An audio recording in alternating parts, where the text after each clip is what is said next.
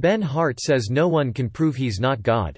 And now the state of Kentucky can't stop the 80-year-old longtime atheist from spelling out the claim, I am God, on his license plate.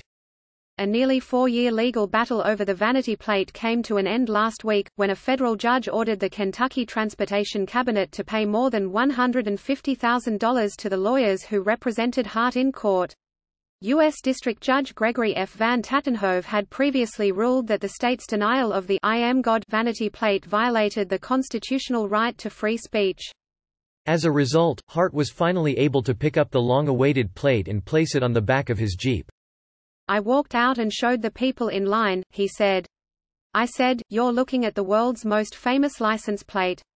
Quote, Vanity license plates have existed since 1931 and are used as a revenue stream for states, according to a Wisconsin State Journal article covering their history.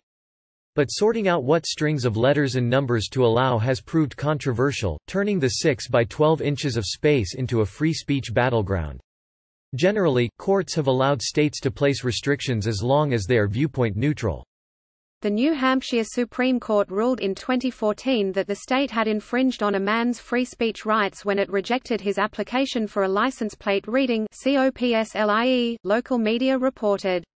Meanwhile, according to Medium, a Vermont woman has been fighting for years to keep her plate, SHTHPNS. In Hart's case, he applied to get the I Am God plate in 2016 after moving to Kentucky. He'd had the same message for 12 years while living in Ohio. An atheist from the age of 15, when he began questioning the story of Noah's Ark and what kind of God would drown every baby in the world, Hart said the license plate message has a simple purpose. I want people to think, he said. That's the whole point, think. Over the years he had the plate in Ohio, Hart said, he only had a few confrontations. Once, a woman told him he wasn't God, and he replied that if she proved it, he would give her the $100 bill he'd been carrying for over 20 years for the first person that can prove I'm not God. He said he got to keep the money. Another time, a woman approached him at a gas station and told him, I've always wanted to meet you. But Kentucky decided Hart's requested message was vulgar or obscene. Later, the licensing agency argued that it might create distractions or confrontations with other drivers. The Freedom from Religion Foundation and the ACLU filed the lawsuit on Hart's behalf. The Transportation Cabinet argued that vanity plates are government speech and convey a stamp of approval from the state. The judge rejected that argument, pointing to other plates the agency had approved.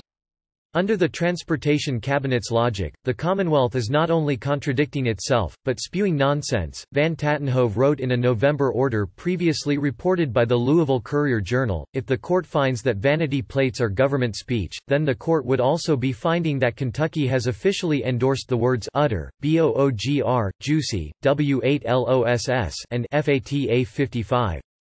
He noted that the messages GODLVS, TRYGOD, 1GOD, and NOGOD had all won approval, undermining the state's argument that Hart's requested plate could not be approved because of its reference to religion. The ACLU and the Freedom from Religion Foundation cheered the decision. As the court affirmed, the denial of Ben Hart's choice of a license plate was pure discrimination, said Annie Laurie Gaylor, co-president of the Freedom from Religion Foundation. We are delighted that the court realized the bias the state of Kentucky was displaying toward nonbelievers. Hart, an ardent believer in the First Amendment, said it was worth the wait, even if, as he put it, I thought I was going to die before I got it. Read more. Plymouth Rock vandalized with red graffiti ahead of 400th anniversary of Mayflower Landing. Boy Scouts of America files for bankruptcy amid wave of potential lawsuits. The USS Arizona burned around him in Pearl Harbor. A fellow sailor defied orders to save his life.